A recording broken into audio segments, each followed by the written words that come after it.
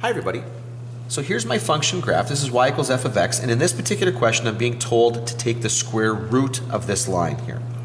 And I'm going to sketch that on here. Well, first of all, when, when the line goes below the x-axis, it, it, when I'm applying the square root transformation, it just disappears. This doesn't exist here. My invariant points are going to be here on the x-axis because the square root of 0, the y-coordinate here is 0, and the square root of 0 is 0. It's also going to be over here at where y is equal to 1 because the square root of 1 is 1. Now, all the rest of these are going to get smaller here. In this little section right here where the y-coordinate is less than 1, all of my square roots here are going to be larger than this line.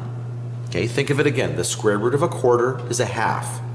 Okay, the square root of a sixteenth is a quarter. Anytime you take the square root of a fraction, you get a larger number. So what happens here is my, my points are actually going to bubble up above this line. But once you get to numbers bigger than 1, the square roots become smaller. So this thing's going to bubble up and then it's going to drop down. So it's going to curve up like a, a radical function, uh, but it's always going to be lower than that line. That's what that's going to look like.